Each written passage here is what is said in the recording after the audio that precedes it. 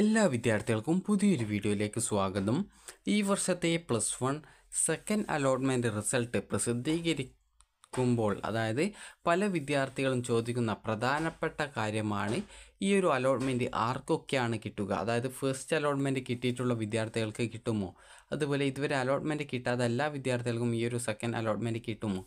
എന്നിങ്ങനെയും. അതുപോലെ തന്നെ പല വിദ്യാർത്ഥികൾക്കുമുള്ള ഡൗട്ടായിരിക്കും അതായത് നിങ്ങളുടെ റാങ്ക് ചിലപ്പോൾ നൂറ്റി തൊണ്ണൂറ് ടു അതായത് ഈ ഒരു അഞ്ഞൂറ്റി മുപ്പത് എന്ന് കരുതുക.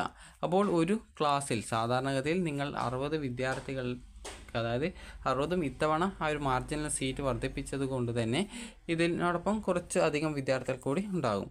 അപ്പോൾ ഇത്രയും സീറ്റിലേക്ക് എങ്ങനെയാണ് ഈ ഒരു അഞ്ഞൂറ്റി മുപ്പത് റാങ്കൊക്കെയുള്ള വിദ്യാർത്ഥികൾക്ക് അലോട്ട്മെന്റ് കിട്ടുക? പല വിദ്യാർത്ഥികൾക്കുമുള്ള ഡൗട്ടായിരിക്കും ഈ ഒരു രീതിയിൽ നിങ്ങളുടെ റാങ്ക് ഉണ്ട്. പക്ഷെങ്കിൽ ഇവിടെ അഞ്ഞൂറ്റി മുപ്പതൊക്കെ റാങ്ക് നിങ്ങളുടേതുണ്ട് എങ്കിൽ അതായത് ഈ ഒരു ആ ഒരു സ്കൂളിൽ കിട്ടിയിട്ടുള്ള വിദ്യാർത്ഥികളുടെ റാങ്ക് ഉദാഹരണത്തിന് നൂറ്റി തൊണ്ണൂറ് നിങ്ങളുടെ റാങ്ക് അഞ്ഞൂറ്റി മുപ്പത് അങ്ങനെയെങ്കിൽ ഇത്രയും വിദ്യാർത്ഥികൾക്ക് എങ്ങനെയാണ് ആ ഒരു സ്കൂളിൽ ഇത്ര മാത്രം ഒരു കോഴ്സിന് സീറ്റുള്ള ആ ഒരു ഓപ്ഷനിൽ എങ്ങനെയാണ് അലോട്ട്മെന്റ് കിട്ടുക എന്നുള്ളത് പല വിദ്യാർത്ഥികൾക്കുമുള്ള സംശയമായിരിക്കും. അപ്പോൾ അതിനുള്ള ഉത്തരവും കൂടിയാണ് ഈ ഒരു വീഡിയോയിൽ. അപ്പോൾ ഇനി നമുക്ക് എങ്ങനെയാണ് വിദ്യാർത്ഥികൾക്ക് ആർക്കൊക്കെയാണ് ഈ ഒരു അലോട്ട്മെന്റ് കിട്ടുക എന്നുള്ള കാര്യം നോക്കാം. അതായത് ഫസ്റ്റ് അലോട്ട്മെന്റിൽ പെർമനന്റ് അഡ്മിഷൻ എടുത്തിട്ടുള്ള വിദ്യാർത്ഥികളാകും ഇപ്പോൾ ഉദാഹരണത്തിന് ഈ ഒരു നാല് അഞ്ച് ഓപ്ഷനുകളാണ് നൽകിയിട്ടുള്ളത്. അപ്പോൾ ഈ ഒരു അഞ്ചാമത്തെ ഓപ്ഷനാണ് ഈ ഒരു ഫസ്റ്റ് അലോട്ട്മെന്റ് കിട്ടിയിട്ടുള്ളത് എന്ന് കരുതുക. അങ്ങനെയെങ്കിൽ അങ്ങനെയെങ്കിൽ ഇപ്പോൾ നിങ്ങൾക്ക് ഈ ഒരു സെക്കൻഡ് അലോട്ട്മെന്റിൽ നിങ്ങളെ പരിഗണിക്കുമോ എന്നുള്ളത് പല വിദ്യാർത്ഥികൾക്കുമുള്ള ഡൗട്ടായിരിക്കും അതായത് നിങ്ങൾ താൽക്കാലിക അഡ്മിഷൻ എടുത്താലും പെർമനന്റ് അഡ്മിഷൻ എടുത്തിരുന്നാലും നിങ്ങൾക്ക് ഹയർ ഓപ്ഷനുകൾ നിങ്ങൾക്ക് ഉണ്ട്. അങ്ങനെയെങ്കിൽ നിങ്ങളെ ഈ ഒരു സെക്കൻഡ് അലോട്ട്മെന്റിന് പരിഗണിക്കും. അതായത് നിങ്ങൾ പെർമനന്റ് എടുത്താലും ടെമ്പററി അഡ്മിഷൻ എടുത്തിരുന്നാലും നിങ്ങൾക്ക് ഹയർ ഓപ്ഷനുകൾ ഉണ്ട് എങ്കിൽ നിങ്ങളെ ഈ ഒരു സെക്കൻഡ് അലോട്ട്മെന്റിന് പരിഗണിക്കും. ഇപ്പോൾ ഉദാഹരണത്തിന് നിങ്ങൾക്ക് ആ ഒരു സെക്കൻഡ് അലോട്ട്മെന്റ് കിട്ടിയിട്ടില്ല എന്ന് കരുതുക. അങ്ങനെയെങ്കിൽ നിങ്ങൾക്ക് അവിടെ ടെമ്പററി അഡ്മിഷനായിട്ട് തുടരാവുന്നതാണ്. അപ്പോൾ ഇനി വിദ്യാർത്ഥികൾക്ക് ഹയർ ഓപ്ഷൻ കിട്ടുകയാണെങ്കിൽ അതായത് ഇപ്പോൾ നിങ്ങൾക്ക് അഞ്ചാമത്തെ ഓപ്ഷനാണ് ഫസ്റ്റ് അലോട്ട്മെന്റിൽ കിട്ടിയത്. സെക്കൻഡ് അലോട്ട്മെന്റിൽ ഒരു മൂന്നാമത്തെ ഓപ്ഷൻ അലോട്ട്മെന്റ് കിട്ടുന്നു എന്ന് കരുതുക. അങ്ങനെയെങ്കിൽ നിങ്ങൾക്ക് ഈ ഒരു അഞ്ചാമതായിട്ട് നിങ്ങൾ ആ ഒരു ഓപ്ഷൻ കിട്ടിയ സ്കൂളിൽ നിങ്ങൾ നൽകിയിട്ടുള്ള ഡോക്യുമെൻസും അതുപോലെ നിങ്ങൾ ഫീസ് പെർമനന്റ് അഡ്മിഷൻ എടുത്തുള്ള വിദ്യാർത്ഥികളാണെങ്കിൽ ഫീസ് നൽകിയിട്ടുണ്ടാവും. അപ്പോൾ ആ ഒരു പി ടി എ ഫണ്ടും ഇതൊക്കെ നിങ്ങൾക്ക് തിരിച്ചു തരും. അതുപോലെ ബാക്കി നിങ്ങൾ സ്കൂൾ ഫീസ് അടച്ചിട്ടുണ്ടാവും. അപ്പോൾ ആ ഒരു ഫീസ് നിങ്ങൾക്ക് ആ ഒരു ഫീസ് തിരികെ കിട്ടില്ല. അതിന്റെ ആ ഒരു റെസിപ്റ്റ് നിങ്ങൾ ആ ഒരു പുതിയ സ്കൂളിൽ പോയിട്ട് നൽകിയാൽ മതി. അപ്പോൾ നിങ്ങൾ ആ ഒരു ഫസ്റ്റ് അലോട്ട്മെന്റ് കിട്ടിയ അഡ്മിഷൻ എടുത്ത സ്കൂളിൽ നിന്നും നിങ്ങളുടെ ഡോക്യുമെൻസും കാര്യങ്ങളൊക്കെ ഫുൾ തിരിച്ചു വാങ്ങിയ ശേഷം നിങ്ങൾക്ക് തിരികെ തരും. അപ്പോൾ അവിടെ നിന്നും നിങ്ങൾ അത് തിരികെ വാങ്ങി ആ ഒരു പുതുതായിട്ട് സെക്കൻഡ് അലോട്ട്മെന്റ് ഏത് സ്കൂളിലാണോ കിട്ടിയിട്ടുള്ളത് ആ ഒരു സ്കൂളിൽ നിങ്ങൾക്ക് ടെമ്പററി അഡ്മിഷൻ എടുക്കാവുന്നതാണ്. ഇനി ഈ ഒരു ഫസ്റ്റ് അലോട്ട്മെന്റ് കിട്ടിയിട്ടുള്ള വിദ്യാർത്ഥികളാവും അവർക്ക് ഈ ഒരു സെക്കൻഡ് അലോട്ട്മെന്റ് കിട്ടില്ല.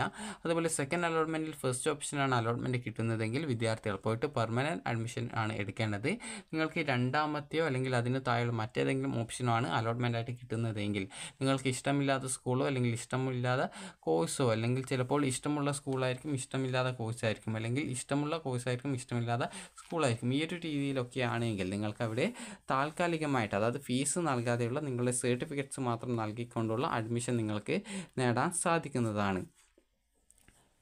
അതുപോലെ തന്നെ വിദ്യാർത്ഥികൾക്ക് ചിലപ്പോൾ നിങ്ങൾ ടെമ്പററി അഡ്മിഷൻ എടുത്തിട്ടുള്ള വിദ്യാർത്ഥികൾക്ക് ഹയർ ഓപ്ഷൻ ഉണ്ടെങ്കിൽ ഈ ഒരു സെക്കൻഡ് അലോട്ട്മെന്റ് ലഭിക്കുന്നതായിരിക്കും. സെക്കൻഡ് അലോട്ട്മെന്റ് കിട്ടിക്കഴിഞ്ഞാൽ നിങ്ങൾ നിർബന്ധമായിട്ടും ആ ഒരു സെക്കൻഡ് അലോട്ട്മെന്റ് ഏത് സ്കൂളിലാണോ കിട്ടിയിട്ടുള്ളത് ആ ഒരു സ്കൂളിൽ പോയിട്ട് ടെമ്പററി അഡ്മിഷൻ എങ്കിലും എടുത്തിരിക്കേണ്ടതാണ്.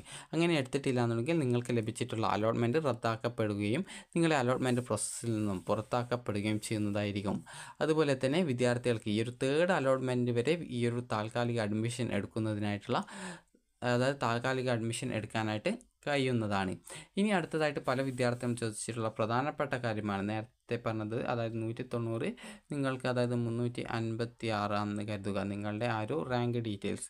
ഇത് നിങ്ങളുടെ ആ ഒരു സ്കൂളിലെ അഡ്മിഷൻ എടുത്തിട്ടുള്ള ആ ഒരു ഓപ്ഷൻ നൽകിയിട്ടുള്ള ആ ഒരു സ്കൂളിലെ ലാസ്റ്റ് റാങ്കും. ഇത് നിങ്ങളുടെ റാങ്കും എന്ന് കരുതുക. അപ്പോൾ പല വിദ്യാർത്ഥികൾക്കുമുള്ള ഡൗട്ടായിരിക്കും. ഇത്രയും വലിയ റാങ്ക് ഉണ്ടാകുമ്പോൾ എങ്ങനെയാണ് ആ ഒരു കോഴ്സിലാകെ അത്ര സീറ്റല്ലേ ഉണ്ടാവുകയുള്ളൂ? അവിടെ എങ്ങനെയാണ് അഡ്മിഷൻ കിട്ടുക എന്നുള്ളത് പല വിദ്യാർത്ഥികൾക്കുമുള്ള ഡൗട്ടായിരിക്കും. അപ്പോൾ ഇതെന്തുകൊണ്ടാണ് ഇത്രയും റാങ്ക് നിങ്ങൾക്ക് ഉണ്ടാകുന്നത് എന്ന് ചോദിച്ചാൽ അതായത് ഒരു സ്കൂളിൽ ഒരു വിദ്യാർത്ഥി മാത്രം മാത്രമല്ല അതായത് അറുപത് സീറ്റാണെങ്കിൽ അറുപത് വിദ്യാർത്ഥികൾ മാത്രമല്ല അപേക്ഷ നൽകുന്നത്.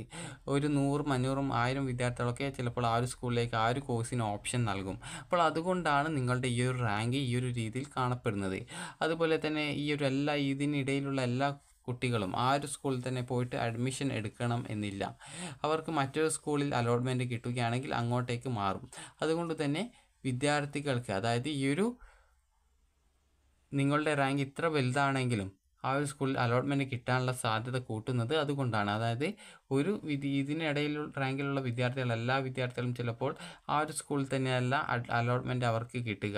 അവർക്ക് ചിലപ്പോൾ അവ ഈ ഒരു റാങ്കിനെക്കാണിയും അതായത് വ്യത്യാസം കുറഞ്ഞ സ്കൂളുണ്ടാവും കാരണം ചില വിദ്യാർത്ഥികൾക്ക് ചിലപ്പോൾ എൺപത്തി ഏഴ് റാങ്ക് ഉണ്ടാവും. അതായത് ആ ഒരു സ്കൂളിലെ ലാസ്റ്റ് റാങ്ക് ചിലപ്പോൾ അവരുടെ റാങ്ക് ഒരു നൂറ്റി പത്തൊക്കെ ആയിരിക്കും. ഇങ്ങനെയൊക്കെ ആണെങ്കിൽ ആ ഒരു സ്കൂളിലേക്ക് അവർക്ക് അഡ്മിഷൻ കിട്ടും. അപ്പോൾ ഈ ഒരു അതായത് ഈ ഒരു റാങ്കിനിടയിലുള്ള വിദ്യാർത്ഥികൾ കുറയും. അങ്ങനെയാണ് നിങ്ങൾക്ക് അഡ്മിഷൻ കിട്ടുന്നത്. അതായത് ഒരു ഈ ഒരു റാങ്കിനിടയിലുള്ള എല്ലാ വിദ്യാർത്ഥികൾക്കും ഒരു സ്കൂളിൽ തന്നെയല്ല അലോട്ട്മെന്റ് കിട്ടുന്നത്. പല സ്കൂളിലേക്കാണ് റാങ്ക് കിട്ടുക. അപ്പോൾ വിദ്യാർത്ഥികൾക്ക് ഈ ഒരു കാര്യം മനസ്സിലിട്ടുണ്ടാകുമെന്ന് കരുതുന്നു. അതായത് ഒരു സീറ്റിൽ ഉദാഹരണത്തിന് അറുപത് സീറ്റാണെങ്കിൽ അതുപോലെ ഇപ്രാവശ്യം കുറച്ച് സീറ്റുകൾ വർദ്ധിച്ചിട്ടുണ്ട്. അപ്പോൾ അത് കൂട്ടിയിട്ട് അറുപതിൽ കൂടുതൽ സീറ്റ് ഉണ്ടാവും. അപ്പോൾ ആ ഒരു അറുപത് സീറ്റിലേക്ക് ഉദാഹരണത്തിന് നിങ്ങൾ ഒറ്റൊരാളല്ല അപേക്ഷിക്കുക. ആയിരത്തിലധികം വിദ്യാർത്ഥികൾ അപേക്ഷിക്കും. അപ്പോൾ ആ ഒരു സമയത്ത് അതുകൊണ്ടാണ് നിങ്ങളുടെ റാങ്ക് ഈ ഒരു രീതിയിൽ വളരെയധികം വ്യത്യാസമൊക്കെ കാണുന്നത്. അതുപോലെ തന്നെ ഈ ഒരു സെക്കൻഡ് അലോട്ട്മെന്റ് വരുന്ന സമയത്ത് തന്നെ ഈ ഒരു ഇപ്പോൾ ടെമ്പററി അഡ്മിഷൻ എടുത്തിട്ടുള്ള വിദ്യാർത്ഥികളാകുമ്പോൾ അവർക്ക് മറ്റൊരു സ്കൂളിലേക്ക് അലോട്ട്മെന്റ് ചിലപ്പോൾ കിട്ടും. അതുപോലെ തന്നെ വിദ്യാർത്ഥികൾക്ക് ഈ ഒരു സ്കൂളിലേക്ക് ചിലപ്പോൾ നിങ്ങൾക്ക് ഈ ഒരു സ്കൂളിലേക്ക് അഡ്മിഷൻ കിട്ടും. ഈ ഒരു രീതിയിലാണ് ഈ ഒരു അലോട്ട്മെന്റ് പ്രോസസ്സ് നടക്കുക. അതായത് ഒരു സ്കൂളിൽ ഒരു വിദ്യാർത്ഥി മാത്രമല്ല അപേക്ഷ നൽകുന്നത്. അതുപോലെ തന്നെ അവർ തന്നെ പല സ്കൂളുകളിലും അപേക്ഷിച്ചിട്ടുണ്ടാവും. അപ്പോൾ അങ്ങനെ ഒരു റാങ്കിനിടയിലുള്ള വിദ്യാർത്ഥികൾക്ക് പല സ്കൂളുകളിൽ അലോട്ട്മെന്റ് കിട്ടും. അതുകൊണ്ട് തന്നെ ആണ് ഈ ഒരു രീതിയിൽ പല വിദ്യാർത്ഥികൾക്കുള്ള ഡൗട്ടായിരിക്കും ചിലപ്പോൾ നിങ്ങളുടെ റാങ്കൊക്കെ ആയിരം അല്ലെങ്കിൽ മുന്നൂറ് അറുന്നൂറൊക്കെ ആയിരിക്കും. അത് കണ്ട് നിങ്ങൾ പ്രത്യേകിച്ച് ടെൻഷനൊന്നും അടിക്കേണ്ട ആവശ്യമില്ല. അപ്പോൾ എല്ലാ വിദ്യാർത്ഥികൾക്കും ഈ ഒരു അലോട്ട്മെന്റ് കിട്ടുന്നതായിരിക്കും. അതുകൊണ്ട് നിങ്ങൾ ടെൻഷനൊന്നും അടിക്കേണ്ടതില്ല. അപ്പോൾ വിദ്യാർത്ഥികൾക്ക് ഈ ഒരു റാങ്ക് ഡീറ്റെയിൽസ് എങ്ങനെ ചെക്ക് ചെയ്യാമെന്നുള്ളത് പല വിദ്യാർത്ഥികളും ചോദിച്ചിരുന്നു. അപ്പോൾ റാങ്ക് ഡീറ്റെയിൽസ് ചെക്ക് ചെയ്യുക. നിങ്ങൾക്ക് ഈ ഒരു സെക്കൻഡ് അലോട്ട്മെന്റ് വന്ന ശേഷം മാത്രമേ ഈ ഒരു വെബ്സൈറ്റിൽ കാൻഡിഡേറ്റ് ലോഗിൻ വരികയുള്ളൂ. അപ്പോൾ ആ ഒരു കാൻഡിഡേറ്റ് ലോഗിൻ വന്നു കഴിഞ്ഞാൽ മാത്രമേ അതായത് നിങ്ങൾക്ക് ആ സെക്കൻഡ് അലോട്ട്മെന്റ് റിസൾട്ട് ചെക്ക് ചെയ്തതിന് ശേഷം നിങ്ങൾക്ക് ആ ഒരു റാങ്ക് ഡീറ്റെയിൽസ് ചെക്ക് ചെയ്ത് നോക്കാവുന്നതാണ്. നിങ്ങൾക്ക് എത്രയാണ് റാങ്ക് ഉള്ളത്? ഈ ഒരു സെക്കൻഡ് അലോട്ട്മെന്റിന് ശേഷമുള്ള റാങ്ക് എത്രയാണ്? ഏത് സ്കൂളിലാണ് അലോട്ട്മെന്റ് കിട്ടാനുള്ള സാധ്യത കൂടുതൽ? എന്നിങ്ങനെയുള്ള കാര്യങ്ങൾ നിങ്ങൾക്ക് മനസ്സിലാക്കാനായിട്ട് സാധിക്കുന്നതാണ്. അപ്പോൾ ഇതാണ് കാരണം. പല വിദ്യാർത്ഥികൾ പറഞ്ഞിട്ടുള്ള കാര്യമാണ്. അതായത് ഒരു സ്കൂളിൽ ഒരു വിദ്യാർത്ഥി മാത്രമല്ല കുറേ വിദ്യാർത്ഥികൾ അപേക്ഷിക്കും. അപ്പോൾ അതുപോലെ തന്നെ അവർ പല സ്കൂളുകളിലും അപേക്ഷ നൽകിയിട്ടുണ്ടാവും. അപ്പോൾ അവർക്ക് ഏറ്റവും റാങ്ക് കുറവ് ഏത് സ്കൂളിലാണ്? അതായത് വ്യത്യാസം ഏത് സ്കൂളിലാണ്? ആ സ്കൂളിൽ അലോട്ട്മെന്റ് കിട്ടുമ്പോൾ ഈ ഒരു സ്കൂളിലുള്ള വ്യത്യാസം കുറയുകയും നിങ്ങൾക്ക് ഈ ഒരു ആ ഒരു സ്കൂളിലേക്ക് അലോട്ട്മെന്റ് കിട്ടാനുള്ള സാധ്യത കൂട്ടുകയും ചെയ്യും. അപ്പോൾ അതുകൊണ്ടാണ് പല വിദ്യാർത്ഥികൾക്കും ഉള്ള ഡൗട്ടായിരിക്കും ഈ ഒരു മുന്നൂറ്റി തൊണ്ണൂറൊക്കെ നിങ്ങൾക്ക് റാങ്ക് ഉണ്ടെങ്കിൽ അവിടെ അഡ്മിഷൻ കിട്ടാൻ സാധ്യത ഇല്ലല്ലോ എന്നുള്ളത്. അപ്പോൾ വിദ്യാർത്ഥികൾക്ക് അലോട്ട്മെന്റ് കിട്ടും. ഒരു തേർഡ് അലോട്ട്മെന്റ് ഒക്കെ ആകുമ്പോഴത്തേക്കും വിദ്യാർത്ഥികൾക്ക് ഈ ഒരു പ്ലസ് വൺ അലോട്ട്മെന്റ് കിട്ടുന്നതായിരിക്കും. അപ്പോൾ വിദ്യാർത്ഥികൾക്ക് ഈ ഒരു വീഡിയോ ഉപകാരപ്പെട്ടു എന്ന് കരുതുന്നു. ഉപകാരപ്പെട്ടെങ്കിൽ ലൈക്ക് ചെയ്യുക ഷെയർ ചെയ്യുക. Thank for watching